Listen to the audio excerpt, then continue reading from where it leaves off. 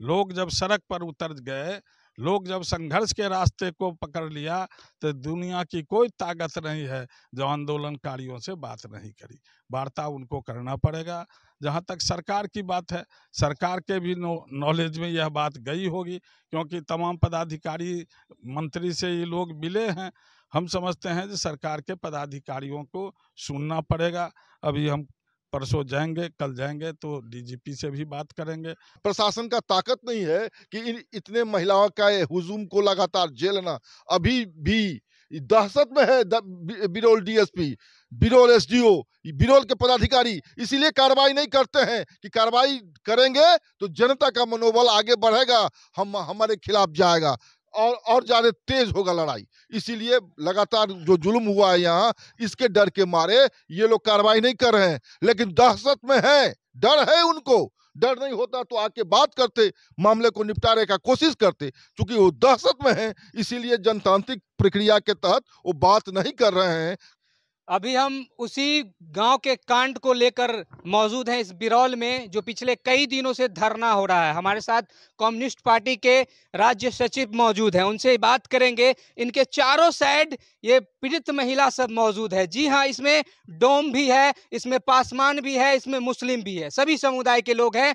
बहुत अच्छी बात इन्होंने कही एक रिपोर्टर को कि हिंदू मुस्लिम भाई भाई वही बात यहाँ दिखाई दे रही है। लेकिन ये दो महीना से परेशान है। पुलिस की बड़बड़ता से परेशान है। पुलिस गुंडा बन जाता है। जिस पुलिस को जनता की रक्षा के लिए बनाया जाता है, वो जनता की रक्षा न करके उसका भक्षक बन जाता है। घर में घुस जाता है, न बच्चे को देखता है, न प्रेग्नेंट महिला को देखता है, सबको पीटता है।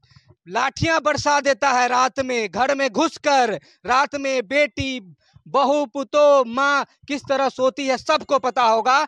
उस घर में रात में घुस जाती है, गेट तोड़ देती है, उसको पीटती है, बहुत बहुत बुरी तरह मारती है। सर से एक ही सवाल करेंगे, क्या गरीब गरीब जो है, जो सरकार को बनाती है, ना कि सरकार गरीब को बनाता है? इसकी वजह से कोई भी सीएम बनता है, इसकी वजह से कोई भी एमपी बनता है। जब ये परेशान होते आज दो महीना से परेशान है। दरभंगा एसपी महोदय बिहार डीजीपी महोदय, न मंत्री की बात सुनते हैं, न किसी की बात सुनते हैं। मंत्री महोदय भी कहते हैं कि आपकी बड़बड़ता से न एसपी साहब एक दिन भी यहाँ घूम के नहीं आए, सर। एक ही सवाल है, क्या ये गरीब लोग ऐसे ही परेशान रहेंगे इस महागठबंधन की सरकार में? जे बुआरी की घटना का विस्तृत चर्चा आपने किया। हम लोगों ने भी, हमारी पार्टी के लोग और यह तमाम सर्वदलीय लोगों ने वहाँ जाँच की। ये पुलिस की बर्बरतापूर्ण कार्रवाई है, ये गलत कार्रवाई है। अब जो दूसरा हिस्सा है इस पर उचित कार्रवाई हो। अधिकारी और पदाधिकारी अभी तक उसको नोटिस नहीं लिया। हम आपसे कहना चाहते हैं, नोटिस तो उनको लेना पड़ेगा। लोग जब सड़क पर उतर गए, लोग जब संघर्ष के रास्ते को पकड़ लिया तो दुनिया की कोई ताकत नहीं है जो आंदोलनकारियों से बात नहीं करी। वार्ता उनको करना पड़ेगा। जहाँ तक सरकार की बात है, सरकार के भी नॉलेज में यह बात गई होगी, क्योंकि तमाम पदाधिकारी मंत्री से ये लोग मिले हैं। हम समझते हैं कि सरकार के पदाधिकारियों को सुनना पड़ेगा। अभी हम परसों जाएँगे, कल जाएँगे तो डीजीपी से भी बात करेंगे और फिर एक कार्रवाई की भी योजना बनावेंगे। यहाँ सिविल डिसोबीडियंस की ज़रूरत है। हम आपके इस कानून को नहीं मानते। आपने कानून तोड़ा है तो हमारे लिए भी कानून नहीं है और यहीं सिविल डिसोबीडियंस होगा जवाब यहाँ के डीएसपी और एसडीओ को देना पड़ेगा। ये कार्रवाइयाँ तय होगी हमारे नेतागण फिर बैठेंगे निर्णय लेंगे तिथि की घोषणा करेंगे और फिर मार्च ऑन होगा। लेट हिम सी ये एक गाँव की घटना आपको दिखाई दे रही होगी। सेम इसी तरह बिरौल क्षेत्र में बेलवाड़ा गाँव में पुलिस रात में घुस जाती है दारूबाज दारूबाज कह के दस बारह घर के लोगों को महिलाओं को पीट देती है। एक जगह की घटना नहीं है। अनेकों जगह बिरौल क्षेत्र की जहाँ तक बात है बिरौल में अनेकों जगह के लोग परेशान हैं। ज़्यादातर महिला परेशान है क्योंकि गरीब तबके के दलित लोग रहते हैं यहाँ। न कि एमपी के लोग विधायक के लोग यहाँ कोई नहीं रहते। जो भी रहते हैं दलित लोग रहते हैं जिनको वोट देना तो आता है लेकिन अपना अधिकार छीनना अधिकार मांगना नहीं आता है जिसकी वजह से आज रोड पर बैठ जाते हैं। पिछले दो महीना से कभी एसपी कार्यालय कभी पटना कभी कहीं कभी कहीं दौड़ रहे हैं ये लोग। एसपी साहब के पास ये सब जाती है तो एसपी साहब इन सबको घुमा देते हैं। कहते हैं पुलिस के खिलाफ हम आवेदन नहीं लेंगे। क्या महागठबंधन की सरकार है यहाँ? महागठबंधन की सरकार का सीएम है या पुलिस का सीएम है यहाँ?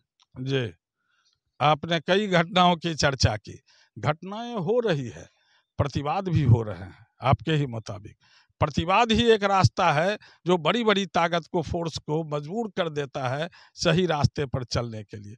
जहाँ तक सरकार का है, सरकार अपना कैबिनेट चला रही है, बिहार को चला रही है, वो देख रही है और हम लोग भी प्रतिवाद की कार्रवाई को कर रहे हैं। सरकार को नोटिस लेना होगा, पदाधिकारी को नोटिस लेना होगा और जब यहाँ से पूरा इलाका खड़ा होगा सड़क पर, आज भी उस रूप से लोग प्रतिवाद के लिए तैयार नहीं हो पाए हैं। ये है एडमिटेड फैक्ट जहाँ तक आपने कहा डेमोक्रेसी का तो हर अठारह वर्ष के नागरिक को मत देने का अधिकार है।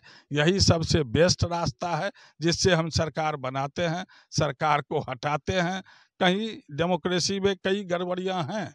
आप जानते हैं, आज कई जगह पर कानून टूट रहे हैं। आप जानते हैं, जात के आधार पर, धर्म के आधार पर, दारू के आधार पर, रुपया के आधार पर डेमोक्रेसी को खतरा में, डेमोक्रेसी आज खतरा में है इन तमाम तत्वों से।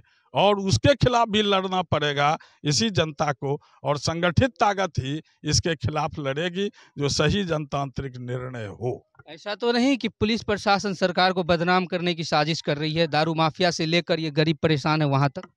जब घटना हो रही है तो क्या माने इसका?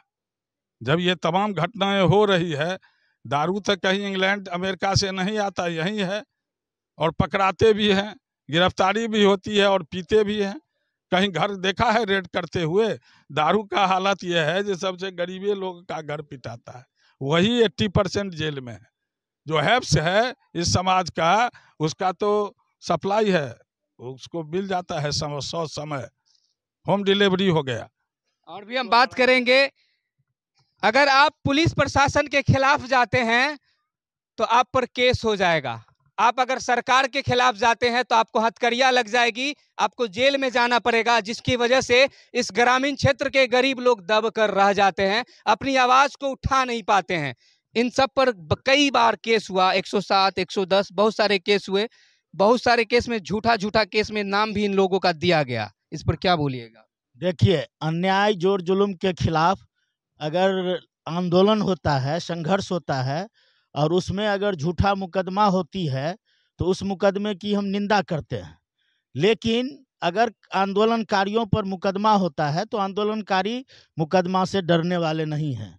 अगर ज़रूरत पड़ेगा, ये जो अन्याय हुआ है, ये जो जुल्म हुआ है, इसके खिलाफ अगर जेल भी जाना पड़ेगा तो हमारे साथी जेल जाएँगे, मगर ये जो अन्याय के खिलाफ, जुल्म के खिलाफ जो लड़ाई चल रहा है वह लड़ाई अंतिम दौर में पहुंचेगा और ये बुआरी घटना में जो भी पुलिस पदाधिकारी हैं, जो जिन्होंने ये पुलिस प्रशासन के मुखौटा पहनकर इस घटना को अंजाम दिया है, उसको निश्चित तौर से कार्रवाई करना होगा। कार्रवाई होगी, मुकदमा से आंदोलनकारी डरने वाले नहीं है, मुकदमा और तेज होगा। महागठबंधन में कम्युनिस्ट भी शामिल है। कम्युनिस्ट भी पार्टी में है, अभी सरकार में है, महागठबंधन में सब आते हैं। लेकिन इतनी लेट हो रही है खुद महागठबंधन के कई नेता इस धरना स्थल पर बैठे हैं शुरू से संघर्ष कर रहे हैं अभी तक न्याय नहीं मिला दो महीना होने को है।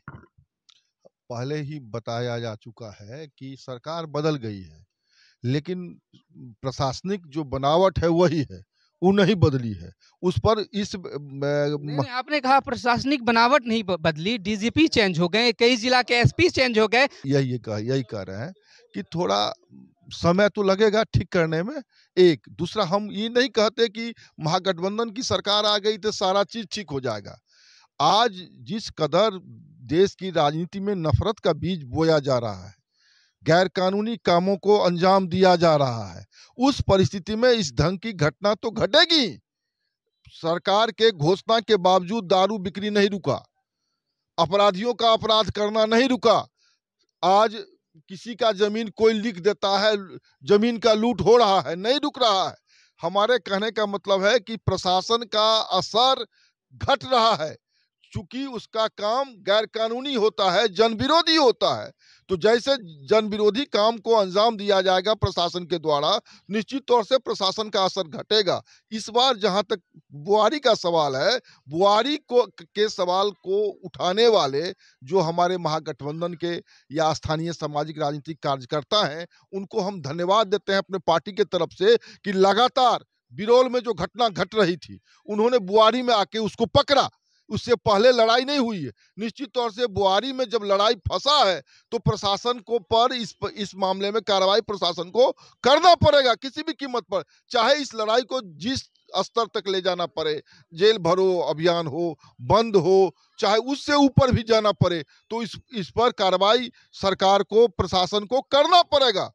उसके अलावा अब कोई चारा नहीं है, क्योंकि इसलिए सात दिन से इन लोगों को बैठना पड़ा कि निश्चित दो महीना से। दो महीना से इंतज़ार करना पड़ा धरना है सात दिन से। तो दो दो महीना से इंतज़ार करना पड़ा कि चूँकि इन्होंने हाईलाइट किया है इसको हाईलाइट करने में समय लगा है जिस दिन से घटना घटी उसके बाद से प्रतिवाद होता इस ढंग से तो निश्चित तौर से कार्रवाई हो गई रहती। प्रशासन का ताकत नहीं है कि इन इतने महिलाओं का हुजूम को लगातार झेलना। अभी भी दहशत में है बिरोल डीएसपी। बिरोल एसडीओ बिरोल के पदाधिकारी इसीलिए कार्रवाई नहीं करते हैं कि कार्रवाई करेंगे तो जनता का मनोबल आगे बढ़ेगा, हम, हमारे खिलाफ जाएगा और और ज़्यादा तेज होगा लड़ाई। इसीलिए लगातार जो जुल्म हुआ है यहाँ, इसके डर के मारे ये लोग कार्रवाई नहीं कर रहे हैं। लेकिन दहशत में है, डर है उनको। डर नहीं होता तो आके बात करते, मामले को निपटारे का कोशिश करते, क्योंकि वो दहशत में है, इसीलिए जनतांत्रिक प्रक्रिया के तहत वो बात नहीं कर रहे हैं। उचित कार्रवाई नहीं कर रहे हैं। दहशत में है यही है। डर। जो उनको यहाँ तक आने में रोकता है। हम समझते हैं कि इस डर से उनको काम नहीं चलेगा क्योंकि हम लोगों ने हस्तक्षेप किया है। अब जा रहे हैं जिला में राज्य में इस पर बात होगी और बात करके इस पर कार्रवाई किया जाएगा। निश्चित तौर से ये बुआरी के जनता की जीत होगी। हम पूरा अस्वस्थ करते हैं इन जो जनता का नौकर है वो मालिक बना बैठा है। इस वजह से ये गरीब जनता परेशान है। परेशान है। ये, आपके कहने का यही हुआ कि जनता का जो नौकर है जिसको जनता की सेवा करनी चाहिए थी वो जनता की सेवा न करके उसको पीट रहा है हाँ, जिस जिस रूप में उनको अपना काम करना चाहिए ड्यूटी करना चाहिए नहीं करते हैं गलत पैसा कमाना गलत धंधा करना चाहते हैं और पैसा और अधिक पैसा कमाने के चक्कर में वो गैर कानूनी काम करते जा रहे हैं वही गैर कानूनी बुआरी के गाँव में हुई है जनता को पीट के दहशत पैदा करना और जो दारू व्यापारी है दारू कारोबारी है उसको बचाना उस पर से ध्यान खींचकर जनता के खिलाफ युद्ध छेड़ना यही बात है इसमें कि दारू बिक्री रहे दारू पी के लोग बदमाशी करता रहे यही बात है। सरकार बदनाम होती सरकार बदनाम होती रही यही बात है इसमें और कुछ बात नहीं है। बिरोल थाना प्रभारी पर दोषी कर्मियों पर निश्चित कार्रवाई होगा। हम आज ये बिरोल अनुमंडल कैंपस में अपनी पार्टी की ओर से कह के जा रहे हैं कि कार्रवाई इनको करना पड़ेगा।